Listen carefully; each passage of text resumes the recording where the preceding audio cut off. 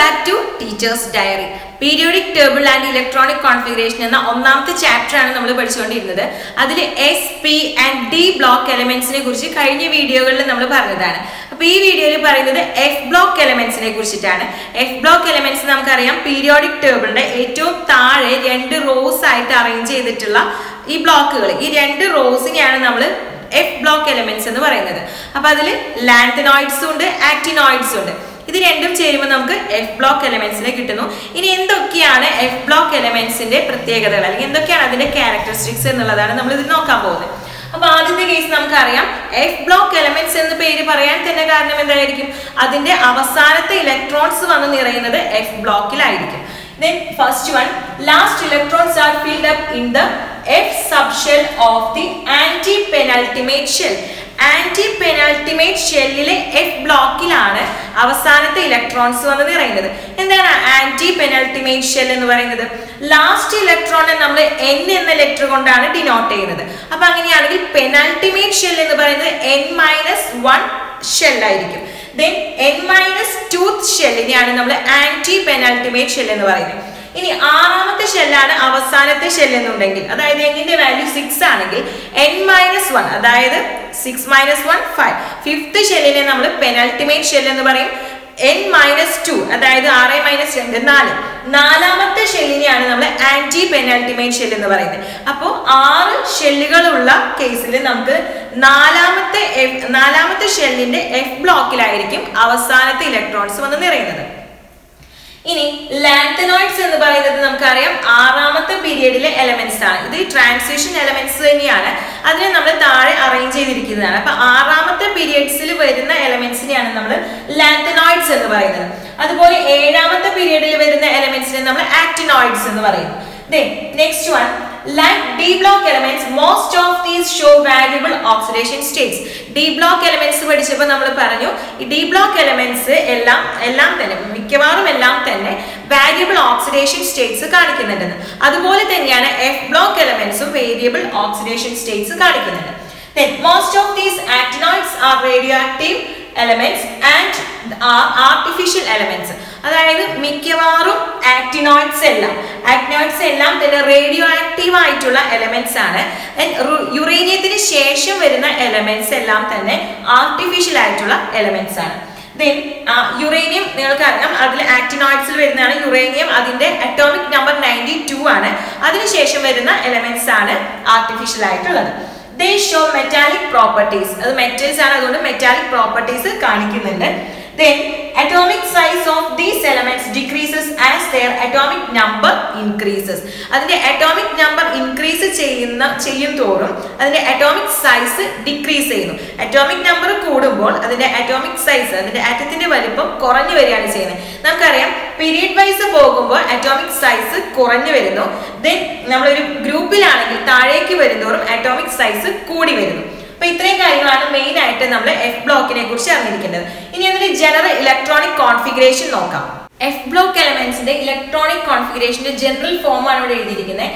N minus two F raise to one to fourteen then N minus one D raise to one zero to one N S two okay അപ്പൊ ഇവിടെ electronic configuration നമ്മൾ അതിന് fill ചെയ്യുന്ന order നിങ്ങൾ നോക്കുക. ഇവിടെ N എന്ന് പറയുന്നത് ലാസ്റ്റ് ഷെല്ലാണ് അതിന് തൊട്ട് മുൻപിലുള്ള എൻ മൈനസ് വൺ എന്ന് പറയുന്നത് അതിന്റെ പെനൾട്ടിമേറ്റ് ഷെല്ലാണ് ദെൻ എൻ മൈനസ് ടു ആണ് ആന്റി പെനൾട്ടിമേറ്റ് ഷെല്ല് വരുന്നത്. ഇനി നമുക്കറിയാം ഈ ലാന്തനൈഡ്സിന്റെ ലാന്തനൈഡ്സിന്റെ ഫസ്റ്റ് എലമെന്റ് വരുന്നത് ഏതാണ്? ലാന്തനമാണ് അപ്പൊ അതിന്റെ അറ്റോമിക് നമ്പർ എന്ന് പറയുന്നത് ഫിഫ്റ്റി ആണ്. ഫിഫ്റ്റി സെവൻ എന്ന് പറയുന്നത് എഫ് ബ്ലോക്ക് തുടങ്ങുന്ന അല്ലെങ്കിൽ നമ്മൾ ഡി ബ്ലോക്കിന്റെ ലാസ്റ്റ് എലമെന്റ് അവിടെ നിന്ന് ഇങ്ങോട്ട് വരുമ്പോൾ ആ ഫസ്റ്റ് എലമെന്റ് ആണ് ലാൻഡൻ അപ്പൊ ലാൻഡനം എന്ന് പറയുന്നത് ഇതിന്റെ ഇലക്ട്രോണിക് കോൺഫിഗറേഷൻ എഴുതാണെങ്കിൽ നമ്മൾ സെഡ് എക്സിനെ ബേസ് ചെയ്തിട്ടാണ് എഴുതുന്നത് അല്ലെ? നമ്മൾ നോബൽ ഗ്യാസ് ആണ് എക്സി സിനോൺ ഫിഫ്റ്റി ഫോർ ആണ് ഇതിന്റെ അറ്റോമിക് നമ്പർ ഇതിന്റെ കൂടെ X E four F zero five D one six S two ആണ് ദെൻ ഇവിടെ എഫ് എലമെന്റ് എഫ് ബ്ലോക്കിൽ സീറോ എലമെന്റ്സ് ആണ്. നമ്മൾ ഇവിടെ നിന്നാണ് എഫ് ബ്ലോക്ക് സ്റ്റാർട്ട് ചെയ്യുന്നത്.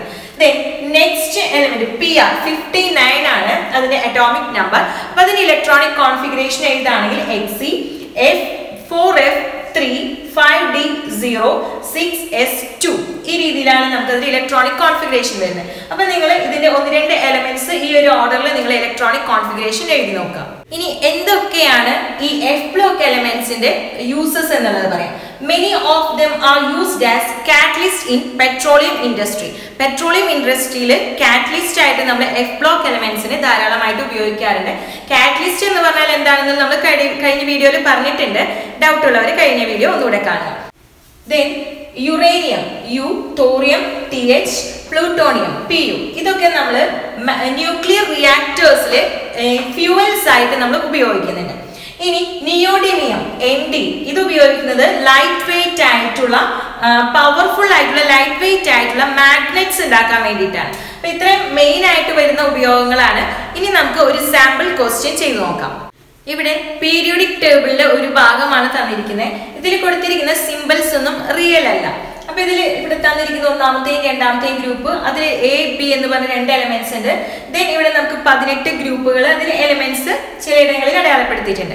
ഇനി അതിനെ ബേസ് ചെയ്തിട്ടുള്ള കുറച്ച് ക്വസ്റ്റ്യൻസ് ആണ് നമുക്ക് ഇവിടെ തന്നിരിക്കുന്നത്. ഒന്നാമത്തെ ചോദ്യം list out the elements of the S block S ബ്ലോക്കിലെ എലമെന്റ്സ് ഏതാണെന്ന് എടുത്തെഴുതാനാണ് പറഞ്ഞിരിക്കുന്നത്. അപ്പൊ ഇതിലെ എസ് ബ്ലോക്ക് എന്ന് പറഞ്ഞാൽ നമുക്കറിയാം ആദ്യത്തെ രണ്ട് ഗ്രൂപ്പ്സ് ചേർന്നതാണ്. അപ്പൊ വൺ ടു ഈ രണ്ട് ഗ്രൂപ്പ്സ് ആണ് എസ് ബ്ലോക്ക് എന്ന് പറയുന്നത്. അപ്പൊ ഏതൊക്കെ രണ്ട് എലമെന്റ്സ് ആണ് എസ് ബ്ലോക്കിൽ വരുന്നത്?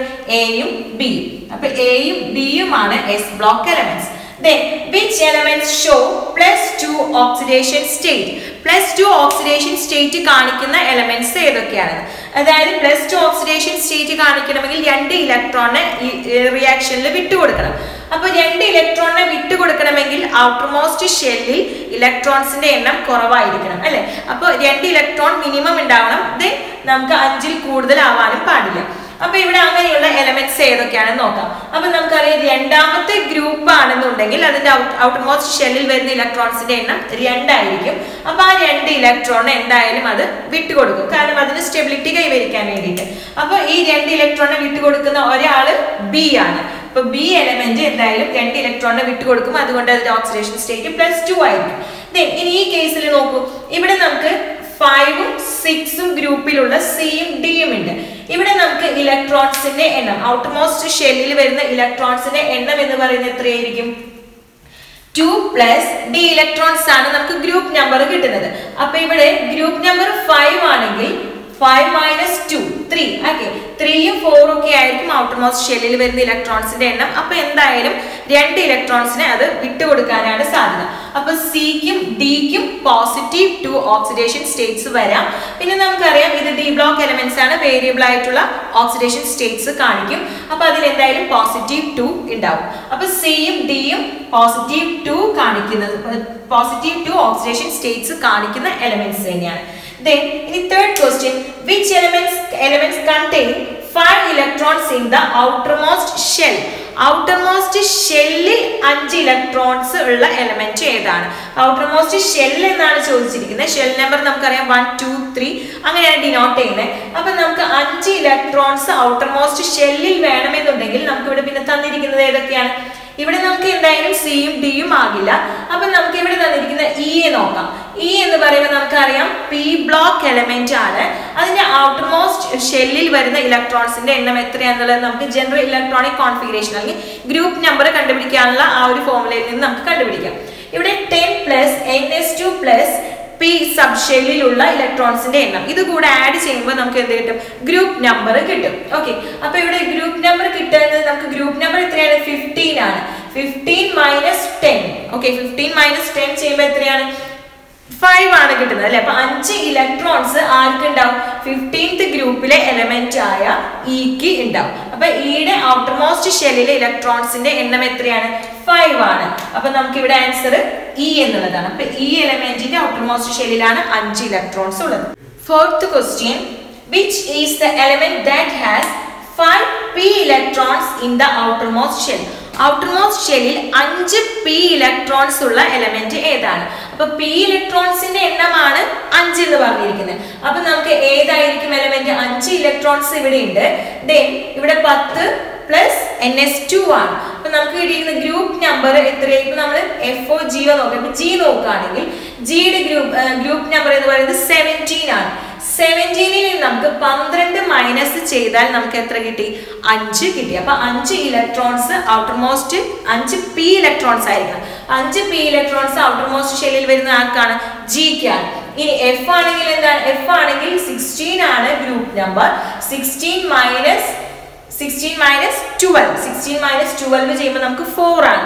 ഫോർ പി ഇലക്ട്രോൺസ് ആയിരിക്കും ഈ എഫിന്റെ കേസിൽ ഉണ്ടാവും അപ്പൊ ജി ആണ് നമ്മുടെ ആൻസർ ജി എലമെന്റിലാണ് നമുക്ക് അഞ്ച് പി ഇലക്ട്രോൺസ് വരുന്നത്. ഔട്ടർ മോസ്റ്റ് ഷെല്ലിൽ അഞ്ച് പി ഇലക്ട്രോൺസ് വരുന്നത് ജിക്കാണ്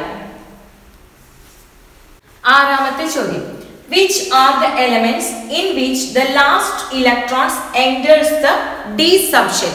D സെപ്ഷനിലേക്ക് ലാസ്റ്റ് ഇലക്ട്രോൺസ് എന്റർ ചെയ്യുന്നത് ഏത് എലമെന്റ്സിനായിരിക്കും ഡി ബ്ലോക്ക് എലമെന്റ്സിനായിരിക്കും അപ്പൊ ഇതാണ് നമ്മുടെ ഡി ബ്ലോക്ക് ഡി ബ്ലോക്ക് എലമെന്റ്സിൽ നമുക്ക് ഇതിൽ തന്നിരിക്കുന്ന എലമെന്റ്സ് ഏതാണ്?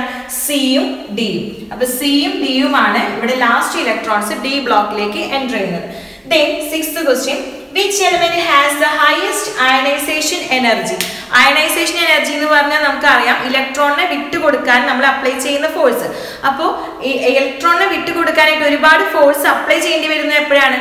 ദെൻ നമുക്ക് ലാസ്റ്റ് പീരീഡിന്റെ ലാസ്റ്റ് ഭാഗത്തേക്ക് പോകുമ്പോൾ നമുക്ക് ഇവിടെ ഈ ഒരു കേസ് നോക്കൂ. സെവന്റീൻത്ത് ഗ്രൂപ്പിൽ ഏഴ് ഇലക്ട്രോൺസ് ഉണ്ടാവും. ഒരെണ്ണം കൂടെ കിട്ടിക്കഴിഞ്ഞാൽ അതിനെ ഒക്ടറ്റ് കംപ്ലീറ്റ് ആക്കാൻ പറ്റും. അത് സ്റ്റേബിൾ ആവും.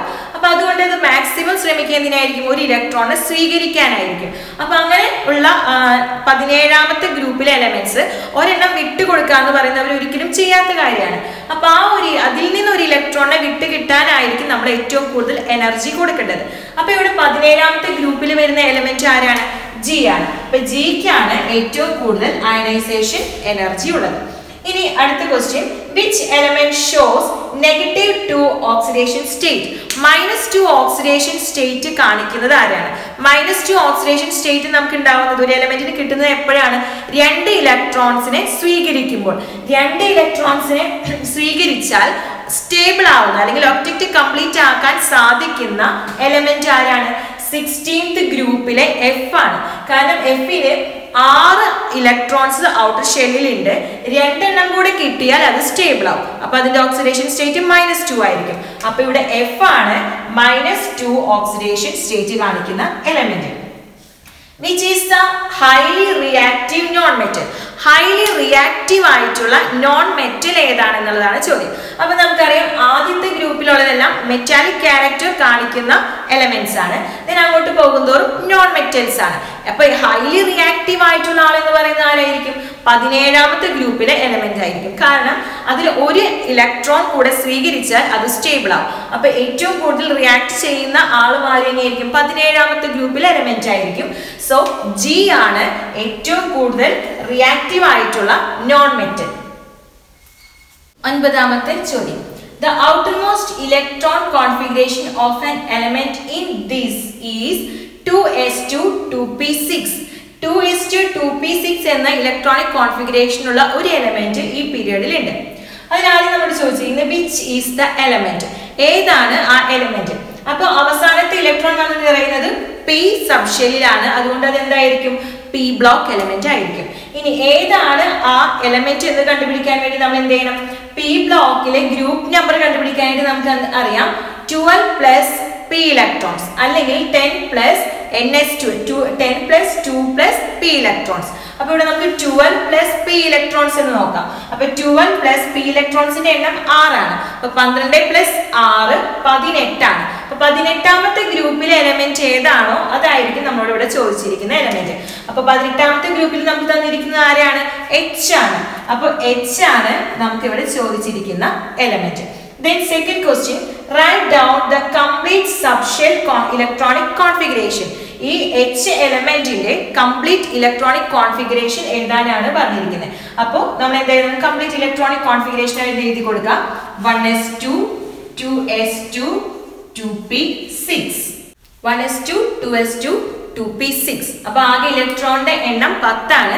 പത്താമത്തെ അറ്റോമിക് നമ്പർ പത്തുള്ള എലമെന്റ് ഏതാണ്? നിയോൺ ആണ്. അപ്പൊ നിയോൺ ആണ് എച്ച് എന്ന് പറയുന്ന element then next question any two characteristics of this element ഈ എലമെന്റിന്റെ നമ്മൾ എച്ച് എന്ന് പറയുന്ന ആ എലമെന്റിന്റെ രണ്ട് പ്രത്യേകതകളാണ് ചോദിച്ചിരിക്കുന്നത്. നമുക്കറിയാം അറ്റോമിക് നമ്പർ പത്താണ്. പതിനെട്ടാമത്തെ ഗ്രൂപ്പ് ഗ്രൂപ്പിൽ വരുന്ന എലമെന്റ് ആണ്. അതുകൊണ്ട് തന്നെ അത് നോബിൾ ഗ്യാസ് ആയിരിക്കും. അപ്പൊ അതിന്റെ പ്രത്യേകത എന്തൊക്കെയായിരിക്കും? Then they do not take part in the chemical reaction അത് സ്റ്റേബിൾ ആണ്. അതുകൊണ്ട് തന്നെ അത് കെമിക്കൽ റിയാക്ഷനിൽ പങ്കെടുക്കുന്നില്ല. അത് മാത്രമല്ല അതിന്റെ വാലൻസി എന്ന് പറയുന്നത് സീറോ ആയിരിക്കും. അത് ഇലക്ട്രോണിനെ വിട്ടുകൊടുക്കുകയോ സ്വീകരിക്കുകയോ ചെയ്യുന്നില്ല. അതുകൊണ്ട് അതിന്റെ വാലൻസി സീറോ ആയിരിക്കും. കെമിക്കൽ റിയാക്ഷനിലൊന്നും പങ്കെടുക്കുകയുമില്ല. Last question write the chemical formula of the compound formed between A and G എയും ജിയും കൂടെ ചേർന്നുണ്ടാകുന്ന കോമ്പൗണ്ടിന്റെ കെമിക്കൽ ഫോർമുല എഴുതാനാണ് പറഞ്ഞിരിക്കുന്നത്. അപ്പൊ എ എന്ന എലിമെന്റ് നമുക്കറിയാം. ഫസ്റ്റ് ഗ്രൂപ്പിലാണ് അതിന്റെ ഓക്സിഡേഷൻ സ്റ്റേറ്റ് എന്ന് പറയുന്നത് പോസിറ്റീവ് വൺ ആണ്. ജി എന്ന് പറയുന്നത് സെവന്റീൻത്ത് ഗ്രൂപ്പിലെ എലമെന്റ് ആണ്. അതിന്റെ ഓക്സിഡേഷൻ സ്റ്റേറ്റ് മൈനസ് വൺ ആണ്. അപ്പൊ നമുക്ക് എങ്ങനെ എഴുതാം? A one G one okay അപ്പൊ നമുക്ക് എ ജി എന്നുള്ളതാണ് എയും ജിയും ചേർന്നുണ്ടാകുന്ന കോമ്പൗണ്ടിന്റെ കെമിക്കൽ ഫോമുല ഇപ്പൊ നമ്മുടെ ഈ ഫസ്റ്റ് ചാപ്റ്റർ കംപ്ലീറ്റ് ആയി. ഇനി നമുക്ക് അടുത്ത വീഡിയോയിൽ അടുത്ത ചാപ്റ്റർ ചെയ്യാം.